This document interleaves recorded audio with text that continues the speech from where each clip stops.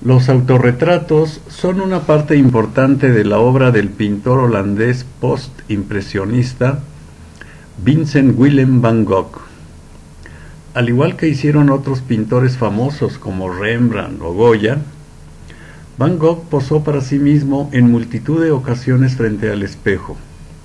Además de dar constancia de ello más de 40 autorretratos, también escribió a sus hermanos sobre su interés por retratarse a sí mismo, diciéndoles, Busco una semejanza más profunda que la obtenida por el fotógrafo. Dicen, y me lo creo fácilmente, que cuesta conocerse a sí mismo, pero tampoco resulta obvio pintarse a sí mismo.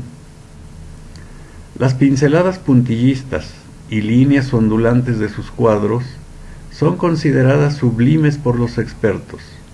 Van Gogh no sólo dominaba una técnica innovadora para su tiempo, sino que logró construir una propuesta estética sólida, en la que conviven trazos impresionistas, contrastes surrealistas y formas con gran fuerza expresiva. Algunos de sus principales autorretratos son los siguientes.